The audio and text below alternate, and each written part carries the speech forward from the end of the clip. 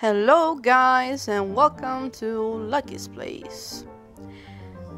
Now we're still doing the Seatember challenge, and we're doing the prompt number 27 and 28 plant life and a moment in time. So, I actually thought this a lot about it because it was the, the two prompts that I liked most in this challenge and um, I was thinking about um, drawing different stages of a marine plant and then I looked uh, on my bookcase and I saw Codex Seraphinianus.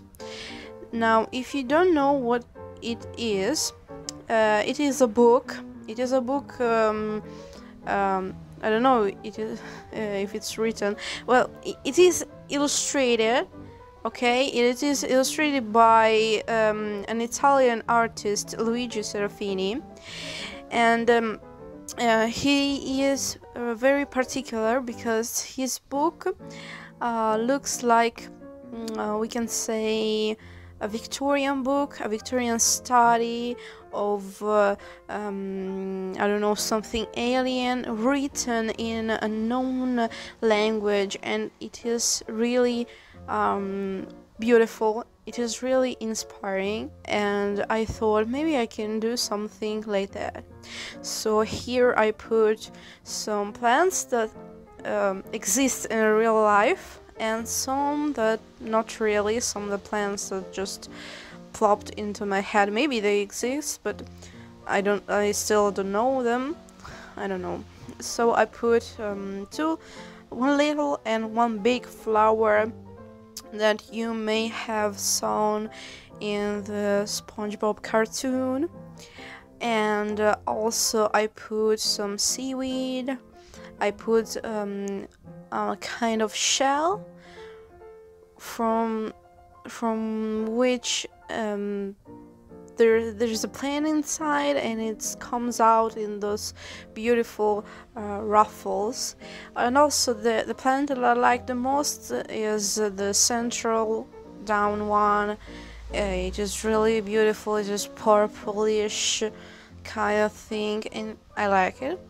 It looks like a whole bouquet um, and those um, all the plants all, all the seaweed um, some those are uh, in the center look like mushrooms for me at least and I really like it. And um, I wanted to write down the description and I wanted to draw um, to write it down like and uh, an old man would uh, and a Victorian man would. So I brought my um, my stylographic um, pen, we can say, and I just uh, wrote down what I thought, and I thought nothing, so I invented a language right away. Um, by the way, the um, the background is uh, really pale. It is not the ocean. It kind of reminds the ocean but I wanted it to be white in order to see well the the writings.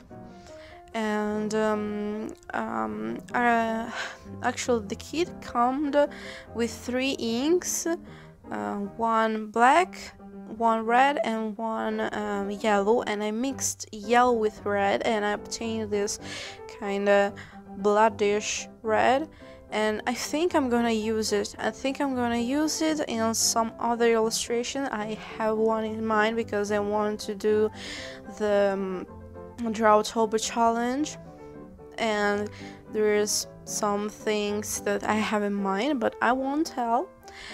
Um, also, uh, the I put uh, used um, in I, I did the inking later because I thought I wanted some free um, things going on, but um, it didn't really impress me as it would usually.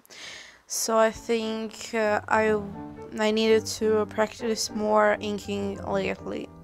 So here we have my language, my strange language, and it's kind of mixed with some um, Asian languages, some uh, um, I don't know Korean because we have those harsh lines of the Korean, but also the flowness and it's all attached to like the Arabic language.